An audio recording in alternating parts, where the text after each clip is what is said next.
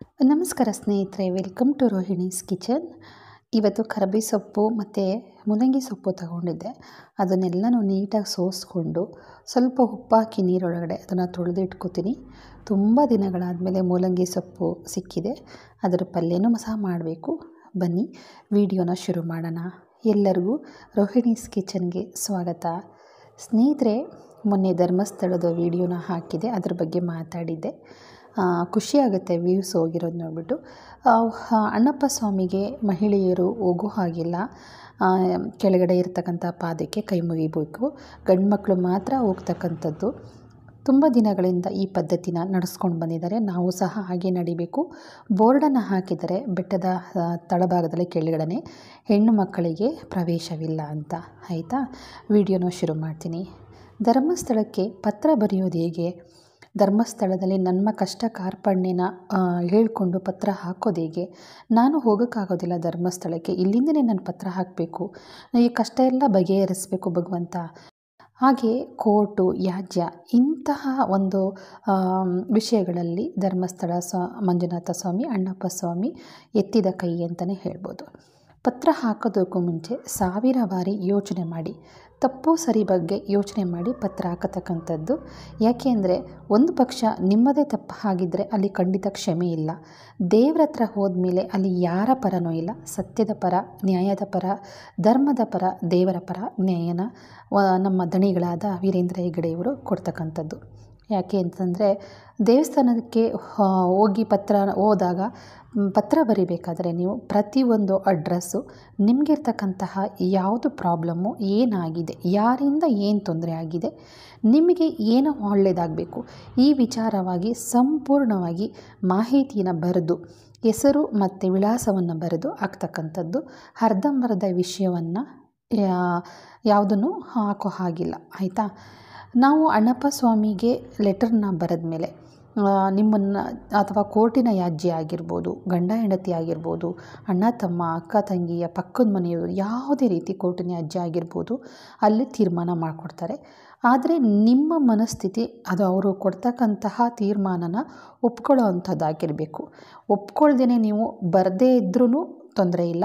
ಆದರೆ ಬರದೇ ಇದ್ದರೂ ಬಂದು ಅವ್ರು ಕೊಡ್ತಕ್ಕಂತಹ ತೀರ್ಮಾನನ ಒಪ್ಕೊಳ್ಳದೆ ಹೋದರೆ ತುಂಬಾ ಕಷ್ಟ ಆಗುತ್ತೆ ಸ್ನೇಹಿತರೆ. ಹಾಕಿದವ್ರಿಗೂ ತೊಂದರೆ ಆಗುತ್ತೆ, ಮತ್ತು ಬರದೇ ಇರೋರಿಗೂ ಸಹ ತೊಂದರೆ ಆಗುತ್ತೆ ಅಂತಲೇ ಹೇಳ್ಬೋದು. ಹಾಗೆಯೇ ನಮ್ಮ ಮನೆಯಲ್ಲಿ ಕಷ್ಟ ಇದೆ ನಮ್ಮ ಮಗುಗೆ ಹುಷಾರಿಲ್ಲ. ನಾನು ಎಕ್ಸಾಮ್ ಬರೆಯೋದಕ್ಕೆ ಹೋಗಬೇಕು. ನಮ್ಮ ಮನೆಯಲ್ಲಿ ಹೆಣ್ಣು ಹುಡುಕ್ತಾ ಇದ್ದೀವಿ ಮಗನಿಗೆ, ಮಗಳಿಗೆಲ್ಲ ಹೆಣ್ಣು ಹುಡುಕ್ತಾ ಇದ್ದೀವಿ ಒಂದು ಒಳ್ಳೆ ಕೆಲಸ ಆಗಬೇಕು, ಮನೆ ಕಟ್ಟಬೇಕು ಹಾಗೆಯೇ ನನ್ನ ಕೆಲಸಗಳು ಯಾವುದೂ ಇಲ್ಲ, ಮನೆಗಳು ಸಿಗ್ತಾ ಇಲ್ಲ, ಜಮೀನು ಸಿಗ್ತಾ ಇಲ್ಲ, ಒಳ್ಳೆ ಬೆಳೆ ಬೆಳಿಬೇಕು. ಅಕ್ಕಪಕ್ಕದವರಿಂದ ನನಗೆ ತೊಂದರೆ ಆಗ್ತಾ ಇದೆ.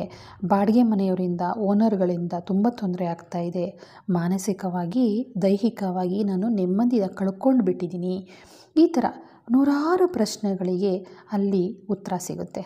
ನೀವು ಲೆಟ್ರ್ ಬರೆಯೋದ್ರಿಂದ ಸರಿಯಾದ ಅಡ್ರೆಸ್ಗೆ ನೀವು ರಿಲೇಟ್ ಅಡ್ರೆಸ್ಸಲ್ಲಿ ನಿಮ್ಮ ಅಡ್ರೆಸ್ಸನ್ನು ಹಾಕಿ ಲೆಟ್ರ್ ಬರೆಯೋದ್ರಿಂದ ಅಲ್ಲಿ ಹೋಗಿ ತಲುಪ್ತಾರೆ. ತಲುಪುತ್ತೆ ಲೆಟ್ರ್. ತಲುಪಿದ ಮೇಲೆ ನಿಮ್ಮ ವಿಳಾಸಕ್ಕೆ ಪ್ರಸಾದ ಬರುತ್ತೆ. ಅರ್ಥ ಆಯ್ತಾ? ಪ್ರಸಾದ ಬಂತಂದರೆ ನಿಮ್ಮ ಕಷ್ಟ ಬಗೆಹರಿತು ಅಂತಲೇ ಅರ್ಥ.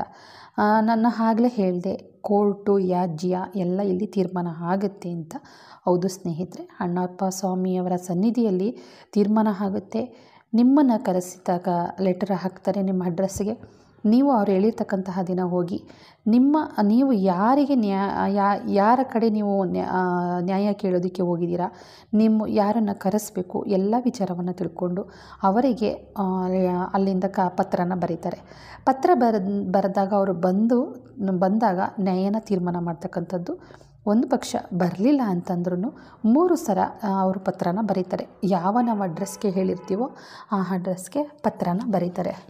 ಅದಾದಮೇಲೂ ಸಹ ಅವರು ಬಂದಿಲ್ಲ ಅಂತಂದರೆ ಮಿಕ್ಕಿದ್ದನ್ನು ದೇವರ ಸನ್ನಿಧಾನಕ್ಕೆ ದೇವರಿಗೆ ಬಿಡ್ತಾರೆ. ನ್ಯಾಯ, ಸತ್ಯ, ಅಸತ್ಯತೆ ಏನು ಅಂತ. ಆಯಿತಾ?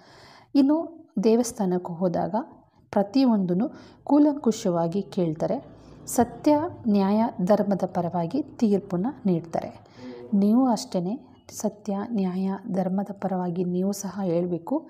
ನಿಮ್ಮಲ್ಲೇ ಸುಳ್ಳನ್ನು ಇಟ್ಕೊಂಡು ಅಲ್ಲೇನಾದರೂ ಪತ್ರ ಬರೆದಿದ್ರೆ, ಅಲ್ಲಿ ನ್ಯಾಯನ ಕೇಳೋಕ್ಕೆ ಹೋಗಿದ್ರೆ ಅಥವಾ ಮಾಡಬಾರ್ದು ತಪ್ಪನ್ನೆಲ್ಲ ಮಾಡಿಬಿಟ್ಟು ಅಲ್ಲೇನಾದರೂ ನ್ಯಾಯ, ನ್ಯಾಯನ ಕೇಳೋಕ್ಕೆ ಹೋಗಿದರೆ ಖಂಡಿತ ಅದು ನಿಮಗೆ ಸಿಕ್ಕೋದಿಲ್ಲ, ಆಯಿತಾ? ಅಪ್ಪಿ ತಪ್ಪಿನೂ ಸಹ ಸಿಗೋದಿಲ್ಲ, ಸಿಗೋದಕ್ಕೆ ಅಣ್ಣಪ್ಪ ಸ್ವಾಮಿಯವರು ಖಂಡಿತ ಬಿಡೋದಿಲ್ಲ. ಎಷ್ಟೋ ಜನಕ್ಕೆ ಕೋರ್ಟಿಂದ ಸಿಗ್ತಾ ಇರತಕ್ಕಂತಹ ಒಂದು ಸತ್ಯಕ್ಕೆ ಜಯ ಇಲ್ಲಿ ಸಿಕ್ಕಿದೆ ಸ್ನೇಹಿತರೆ. ಪತ್ರ ಬರೀಬೇಕಾದ್ರೆ ಅಂಚೆ ಕಚೇರಿಗೆ ಹೋಗಿ ಪತ್ರ ಬರೀರಿ. ನನಗೆ ಗೊತ್ತಿರೋ ಅಷ್ಟು ಮಾಹಿತಿನ ನಾನು ನಿಮಗೆ ತಿಳಿಸಿದ್ದೀನಿ. ಈ ವಿಡಿಯೋ ಏನಾದರೂ ಸ್ವಲ್ಪನಾದರೂ ಇಷ್ಟ ಆಯಿತು ಅಂದರೆ ಒಂದು ಲೈಕ್ ಕೊಡಿ. ಹೊಸ್ದಾಗಿ ನೋಡ್ತಾ ಇರೋರು ಸಬ್ಸ್ಕ್ರೈಬ್ ಮಾಡ್ಕೊಳ್ಳಿ ಅಂತ ಹೇಳ್ತಾ ಥ್ಯಾಂಕ್ ಯು.